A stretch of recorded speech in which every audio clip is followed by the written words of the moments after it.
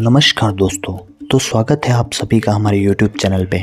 तो आज हम चर्चा करेंगे भगवान हनुमान जी और बाली के बीच हुए युद्ध के बारे में। हनुमान जी और बाली के बीच जब हुआ भयंकर युद्ध, बाली ने कई मील भागने के लिए बात इससे बचाई थी जान।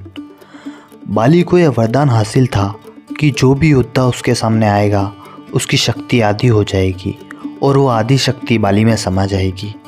यहाँ तक कि बाली ने रावण पर भी विजय प्राप्त कर ली थी। त्रेता युग के सबसे शक्तिशाली योद्धाओं में महाबली बाली का भी नाम आता है। सुग्रीव के भाई अंगद का पिता अप्सरा तारा के पति और वानर श्रेष्ठ ऋषि के पुत्र बाली को एक खास वरदान हासिल था। देवराज इंद्र के धर्मपुत्र और किशकंदा के राजा बाली को यह वरदान हासिल था कि जो भी योद्धा उसके सामने आएगा, उसकी शक्ति आधी हो जाएगी। और वो आधी शक्ति में, बाली में समा जाएगी। यही कारण था कि कोई भी योद्धा उसके सामने आने से डरता था। बाली ने अपनी इस अद्भुत शक्ति के दम पर दुदुम्पी असुर का वध किया था। बाली को मिला यहाँ तक कि रावण के पास भी जब बाली की चर्चा पहुँची, तब वह भी उससे लड़ने आ धमका। हालाँकि बाली के सामने रावण की एक न चली। कथा के अनुसार बाली ने रावण को अपनी कांख में छः छः माह तक दबाए रखा था। अंत में रावण ने उससे हार मान ली थी और उसे अपना मित्र बना लिया। बाली का घमंड इससे बहुत बढ़ गया था। हालाँकि रावण तक को हराने में कामयाब रहे बाली का घमंड आखिरकार हनुमान जी ने तोड़ा। बाली ने जब हनुमान जी को युद्ध के लिए ललकारा।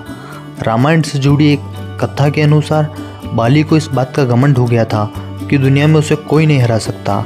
एक बार की बात है, राम भक्त हनुमान वन में तपस्या कर रहे थे। उसी समय बाली भी वहाँ पहुँचा और घमंड में चूर हनुमान जी की तपस्या में विघ्न डालने लगा। बाली ने दी थी हनुमान जी को दंगल की चुनौती। हनुमान जी पहले तो ध्यान नहीं दिया, लेकिन बाली रुकने का नाम नहीं ले रहा था। वहाँ लगातार ज़ोर ज़ोर से यह भी कह रहा था कि उसे कोई नहीं हरा सकता। इस पर हनुमान जी ने कहा वानर राज आप अति बलशाली है। आपको कोई नहीं हरा सकता। लेकिन आप इस तरह चिल्ला क्यों रहे हैं?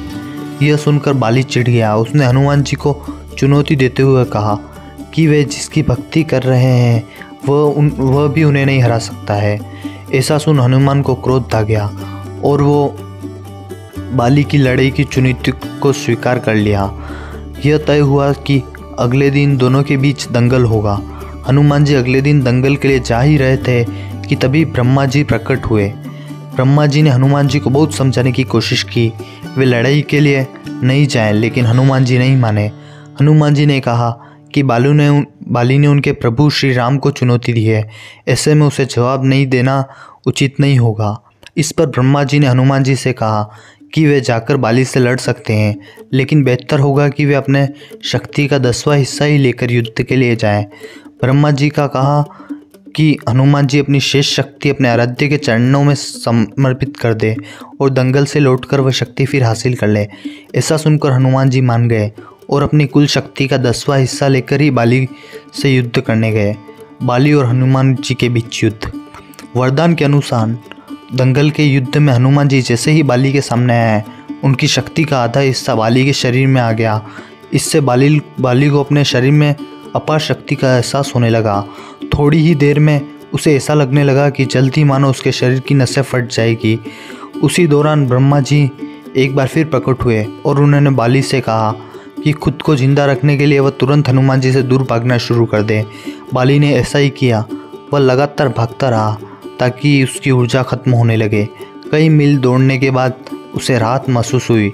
उसने देखा कि सामने ब्रह्मा जी खड़े हैं। ब्रह्मा जी ने बाली से कहा कि तुम खुद को दुनिया में सबसे शक्तिशाली समझते हो, लेकिन तुम्हारा शरीर हनुमान जी की शक्ति का थोड़ा सा हिस्सा भी नहीं संभाल पा रहा है। जबकि वे केवल अपनी दस प्रतिशत शक्ति लेकर आए थे। सोचो, यदि संपूर्ण शक्ति होती तो क्या करते? बाली को बात समझ में आ गई और उससे अपनी गलती का एहसास हुआ। बाद में बाली ने हनुमान जी को प्रणाम किया और क्षमा मांगी। धन्यवाद वीडियो से जुड़े रहने के लिए। और ऐसे अन्य वीडियो जान देखने के लिए चैनल को सब्सक्राइब कीजिए।